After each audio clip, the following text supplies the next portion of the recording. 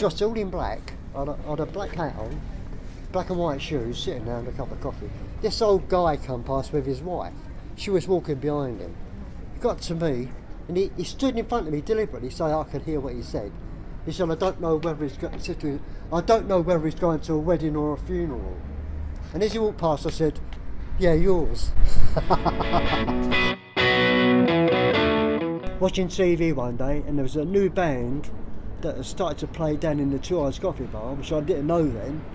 The guy was called, what was his name? Vince Taylor and the Playboys. You, you can Google his name. He had a sad end as well. But he looked like Elvis Presley. He was all in black. I was, I was mesmerised by him. I said, we've got to go and find this place. Where is it? It's Soho. So we jumped on the bus, as I said, come up here. Finally found the place. And um, we never saw him though. But of course it opened up our eyes to the whole area. Never been here before. I thought, bloody what a place, this is a great place. You know, coffee bars everywhere, there was clubs. And uh, rock and roll was just starting off as well.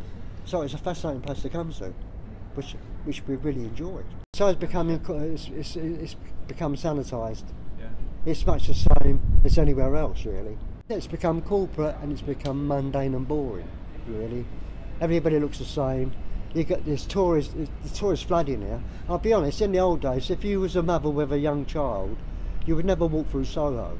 It was quite dangerous. Mm. There was prostitution and the rest of it going on. But today, it's all under control. If you see a sign outside a door, you can tell that it's actually a brothel, really. They call it a massage. but there's plenty of them still about. But in them days, they used to hang about on the corner. And you, you say hello to them, probably, Yeah. you know. Uh, but it was a magic time. This happened in 1949, this place. 1949.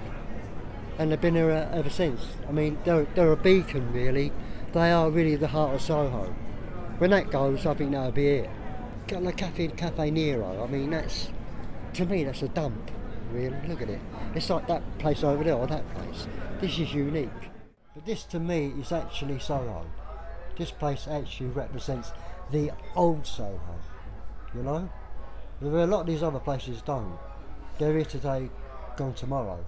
This is this has been established since 19, 1949. It's a long time ago. This is this is it. And, Bar Italia next door.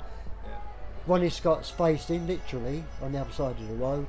This spot here is the epicentre, to me, of Soho. But people do come up here looking for them places that don't exist. Another generation have been mesmerised by the glamour of Soho. They say, oh, we must go there one day and see it, but it's not here anymore. I just on all my own clothes, all of them. They're all the same, basically the same shape but different fabrics. People always say to me, where'd you get your clothes? I said, that's where I got them from, in there. They said, well, I to, can I, where, where can I buy one? Where can I buy that? You can't buy it anywhere. I said, you've got to sit down in your room and start to think about what you want to look like. Or what fits you or suits you, what style. Uh, 99% of people will say to me, oh, you're fantastic, oh, great. Then you get the, the occasional one who will say, where'd you get the clothes from, mate? And that's what I say to them, well, in there. That's what they are. They're in there. You've got to find, you've got to find your clothes that suit you. You know, your personality. But, you know, people don't. I, my, my advice to most people is to be yourself.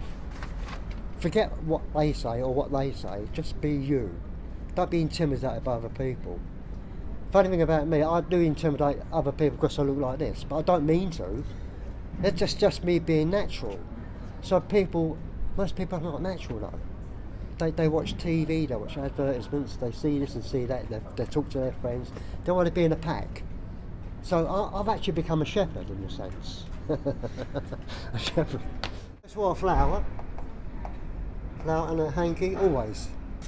You couldn't, you couldn't, I would not go out without a flower or a hanky in my top pocket. I, I feel undressed. It's, I know it sounds weird, but I did. Things have to be right, even down to socks. Socks have to be the right colour. See, they're, they're, they're brown. They're not blue or yellow, like some guys would wear. That wouldn't work for me. I, I, that'd be on my mind. I thought, oh, I can't go out like that. I'd sooner be dead than be, be a sheep. Sorry. As time's gone on now, it's all about money a lot of it. People are just encouraged to run with the pack. And the pack is boring. They need a shepherd. That's where I step in. They see me and uh, maybe I inspire them. I don't know. I hope so. To be themselves.